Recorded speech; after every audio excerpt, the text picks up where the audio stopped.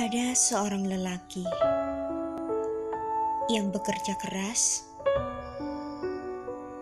mulai terbit matahari sampai terbenam kembali, yang tak pernah mengenal arti penat dalam menyerah keluarga. Wahai ayah, tanpamu kami tidak melihat dunia ini. Apabila ayah pulang dari kerja, kepenatan ayah sembunyikan lalu tersenyum pada diriku. Ayah, aku sangat rindu. Walau aku tahu waktu hidup ini tidak lama.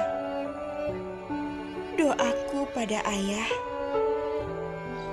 tidak pernah ku lupa. Terima kasih ayah